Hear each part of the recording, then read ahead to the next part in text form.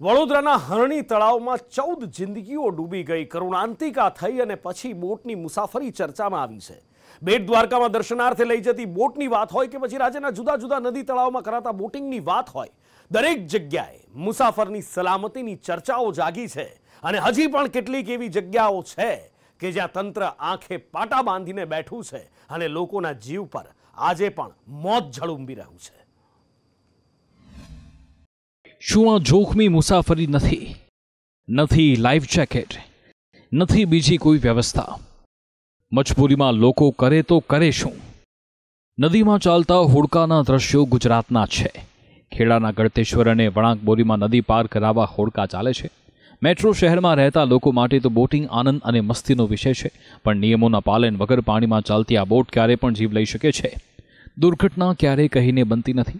વડોદરાના હરણી તળાવમાં પણ બોટ સંચાલકો એમ જ કહેતા હતા કે આ તો અમારું રોજનું છે અને મોટી દુર્ઘટના બની ગઈ. બસ એવું જોખમ અહીંયાના લોકોના માથે તોડાઈ રહ્યું છે.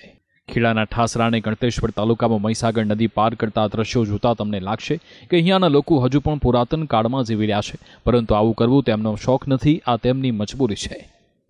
ગળતેશ્વરના નવશેરિયાના વડોણા ગામ નજીકથી પસાર થાય છે મહીસાગર નદી. અને નદીને પેલે પાર પંચમહાલનું વલ્લભપુર ગામ આવેલું છે. વર્ષોથી બંને ગામ વચ્ચે વાટકી વ્યવહાર છે. લોકો નોકરી ધંધા માટે કે પછી બાળકો અભ્યાસ અર્થે પેલે પાર જતા હોય છે અને તેના માટે તેમણે આ નદી જોખમી રીતે હોડકામાં પાર કરવી પડે છે. જોખમી રીતે એટલા માટે કે હોડકામાં કોઈ પ્રકારના નિયમોનું પાલન થતું નથી. ન તો સેફટીના સાધનો છે, ન તો કોઈ વ્યવસ્થા જે આફત સમયે ઉપયોગમાં લઈ શકાય. બસ જીવ હથેળીમાં લઈ મુસાફરી કરવાની. અહીંયાના લોકોની તો આ જોખમી સવારી મજબૂરી છે. બીજો કોઈ રસ્તો નથી તેવું નથી. પણ જો તે હોડકામાં મુસાફરી કરી નદી ઓળંગે છે, તો તેમનો ચાલીસથી પિસ્તાલીસ કિલોમીટરનો ધક્કો બચી જાય છે. સાથે ખર્ચ પણ ઓછો થાય છે અને સમય બચે છે. હોડકામાં મુસાફરી કરી લોકો પાંચથી દસ મિનિટમાં સામે પાર પહોંચી જાય છે. જો તમે પણ અહીં આવો, તો તમે પણ હોડકામાં જ મુસાફરી કરતા. વડોદરાથી સામે વલ્લભપુર જવા માટે, મતલબ પંચમહાલ જવા માટે પાંચ મિનિટની અંદરનો રસ્તો છે. જ્યારે આમ ફરીને જવાનું હોય તો પચાસ કિલોમીટરનું અંતર થાય. તે માટે અહીંથી બોટમાં જઈએ છીએ. સેફટી માટે સરકારને કઈ વ્યવસ્થા જેકેટ બેકેટની કરવી જોઈએ? બાકી તો અહીંયા તો બોટ પલટી મારે એટલે કોઈ બચવાની શક્યતા જ નથી. અંદર. આ જોખમી તો ખરી જ ને અરે ચોમાસામાં તો જોખમી જ છે ને. તોય છતાંય ના છૂટકે જવું પડે. અહીં ડિલિવરીમાં થતી હોય કોઈને અહીં નજીકમાં થઈ જતું હોય તો સારું રહે એમ. અને આ પુલ હોય ને તો કોઈ ટેન્શન ના રહે. અહીંયાના લોકોને સૌથી વધારે મુશ્કેલી ચોમાસામાં પડે છે. ચોમાસામાં નદીના જળસ્તર વધે છે તેમજ પ્રવાહ પણ તીવ્ર હોય છે. તેવામાં અહીં હોડકામાં મુસાફરી કરવી મોતને આમંત્રણ જ છે. થોડા સમય પહેલાં અહીંયા આવી જ એક દુર્ઘટના બની હતી જ્યાં બોટ પલટતા તમામ મુસાફરો મોતને ભેટ્યા હતા. ખેર મજબૂરી એવી છે કે લોકો આ વાત જાણતા હોવા છતાં આવી મુસાફરી કરવા મજબૂર છે. ખાલી ગળતેશ્વરના વરોડામાં હોડકા ચાલે છે તેવું નથી. વરોડાથી થોડા આગળ જઈએ તો ત્યાં વણાકબોરી ખાતે પણ આવા હોડકાની ભરમાર છે. વનોડા બાદ અત્યારે આ વણાક બોરી ખાતેના દ્રશ્યો બતાવી રહ્યો છું. વણાક બોરી એક બાજુ ડેમ છે ને બીજી બાજુ આ વણાક બોરીથી સામેની પાર એટલે કે પંચમહાલ જિલ્લાના નાના મુવાડા નાથુજીના મુવાડા જે ગામ આવેલું છે તે ગામ મુસાફરો જઈ રહ્યા છે. જે ગામવાસીઓ છે તે આ જગ્યાએ અવર જવર કરતા હોય છે કારણ કે ઘણા કિલોમીટરો તેમને બચાવવા માટે આ રીતે તે બોટમાં મુસાફરી કરે છે અને તે આ ગામથી પેલે ગામ પોતાના કામ અર્થે, ધંધા અર્થે અને અભ્યાસ અર્થે જતા હોય છે. જોખમી સવારી તો કહેવાય, પરંતુ સરકાર ક્યારે આ જે મુસાફરી, જોખમી મુસાફરી છે તેની પર ધ્યાન આપશે અને ક્યારે લાઈફ જેકેટ જેવી જે અદ્યતન સામગ્રી છે તે પ્રોવાઈડ કરશે તે જોવાનું રહેશે. તંત્રનું કહેવું છે કે નજીકમાં ડેમ આવેલો હોવાથી તેમજ ભૌગોલિક કારણસર અહીંયા પુલ બની શકે તેમ નથી.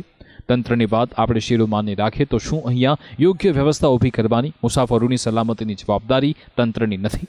સ્થાનિકોનો આરોપ છે કે ઠાસરાના ધારાસભ્ય યોગેન્દ્રસિંહ પરમાર મત માંગવા તો આવી જાય છે પણ કામ નથી કરતા. તંત્ર તો જવાબદારીમાંથી છટકી રહ્યું છે પણ જો કાલે ઉઠીને અહીંયા કોઈ મોટી દુર્ઘટના બનશે તો તેની જવાબદારી કોની? ખેડાથી કરુણેશ પંચમવેદી સાથે બ્યુરો રિપોર્ટ, સંદેશ ન્યૂઝ. રામલલાની પ્રાણ પ્રતિષ્ઠાના અવસરને હવે માત્ર ગણતરીના કલ- કલાકો બાકી છે, ઘડીઓ બાકી છે. અવસર ઉમરે આવીને ઊભો છે અને લોકો પ્રભુના દર્શન માટે અધીરા બન્યા છે. રામલલાના દર્શન જે ટેન્ટમાં થતા હતા એ હવે બંધ થઈ ગયા છે. પ્રભુની બાળ સ્વરૂપની મૂર્તિ એમાં લોકોની આસ્થા છે અને જે શ્યામ વર્ણ મૂર્તિ છે, એમાં લોકોને આધ્યાત્મની ઝલક જોવા મળી રહી છે. પ્રાણ પ્રતિષ્ઠાના પર્વને લઈ અવધ નગરી ફૂલોથી શણગારાઈ ચૂકી છે અને બીજી બાજુ આસ્થાના કેન્દ્ર અયોધ્યામાં શ્રદ્ધાળુઓનો પ્રવાહ પણ યથાવત છે. અયોધ્યામાં હવે ઘડીઓ ગણાઈ રહી છે પ્રભુના પ્રાણ પ્રતિષ્ઠાની. ઐતિહાસિક ક્ષણના સાક્ષી બનવા આખી દુનિયા આતુર બની છે. લોકોમાં આતુરતા છે કે પ્રભુનું આ ભવ્ય અને દિવ્ય મંદિર કેવું હશે? ત્યારે પ્રાણ પ્રતિષ્ઠા પહેલા મંદિરની અંદરનો એક સુંદર વીડિયો સામે આવ્યો છે, જેમાં પરંપરાગત ભારતીય વાસ્તુકલા દેખાઈ રહી છે.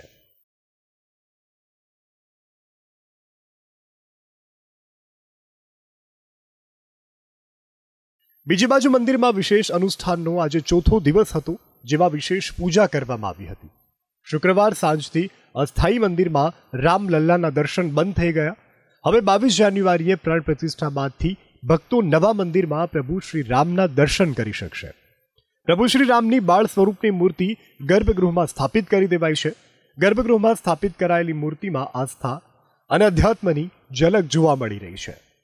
બાળ સ્વરૂપની પ્રભુની મૂર્તિ લોકોના મન હરી રહી છે. પ્રાણ પ્રતિષ્ઠા પર્વને લઈ અવધ નગરીને ભવ્ય અને દિવ્ય શણગાર કરવામાં આવી રહ્યો છે. મંદિરના વીઆઈપી ગેટને પણ વિશેષ શણગાર કરવામાં આવ્યો છે.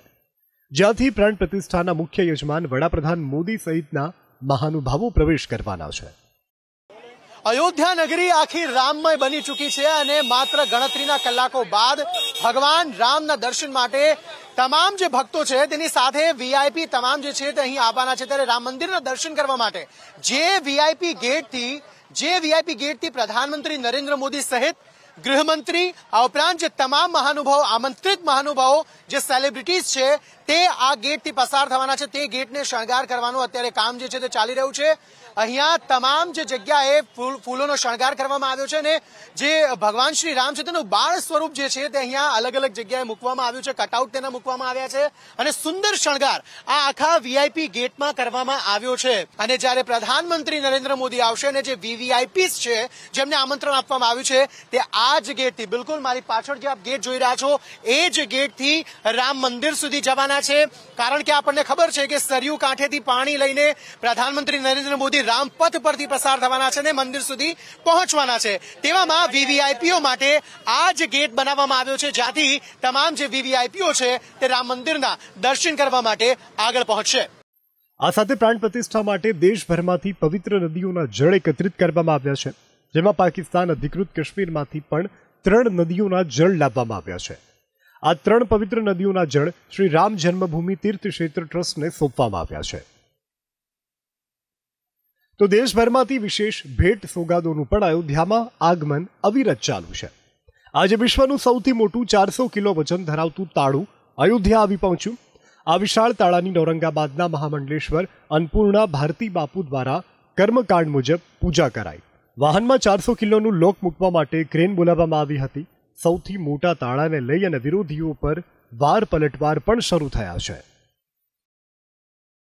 सबसे बड़ा मैसेज अलीगढ़ की ओर से समूचे विश्व के उन विरोधियों के लिए है जो चिल्ला चिल्लाकर भौंक रहे थे कि राम मंदिर कब बनेगा बनेगा या नहीं बनेगा तारीख ही बताते रहेंगे और मेरे प्रभु राम को राजनीति से जोड़ रहे थे उनके मुंह पर ये ताला लगा दिया गया है તો અવધ નગરીમાં સરયુ કાંઠે એક ભક્તે પ્રભુ શ્રીરામની સૌથી મોટી રેત કલાકૃતિ બનાવી છે જે લોકોને ખૂબ પસંદ આવી રહી છે कि जब रामलला अपने मंदिर में विराजमान हो जाएंगे तो मैं दुनिया की सबसे ऊंची रेत कलाकृति बनाकर और भगवान राम से जुड़ी सभी प्रसंगों को रेत पर उकेर कर वर्ल्ड रिकॉर्ड स्थापित करूंगा उसके पश्चात ही अपनी दाढ़ी और बाल कटाऊंगा निरंतर समसामयिक घटनाक्रमों पे काम करूंगा और राम की अलग जगाता रहूंगा राम की भक्ति प्रत्येक के दिलों तक पहुंचाता रहूंगा હાલ તો અયોધ્યામાં અત્ર તત્ર સર્વત્ર માત્ર એક જ રંગ ઉડી રહ્યો છે રામ રંગ